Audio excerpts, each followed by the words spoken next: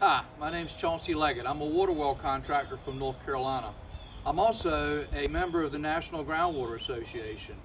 I just wanted to reach out to you and let you know that we are going to have Groundwater Week uh, this year, like we always in the past.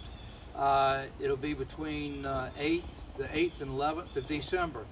It will be different this year. If you haven't heard, I'd invite you to go to the website, uh, NGWA, and listen to President Partridge's message. He did a great job explaining why it's going to be different. But as you can imagine, 2020 has been totally different from what we've been used to. Uh, so therefore, we're going to have to go 100% virtual this year. But there are some positives out of that. Um, you have an opportunity to bring more people virtually, obviously. Uh, we're going to have a great show. We're going to have multiple days of workshops, actually 50 plus hours of workshop.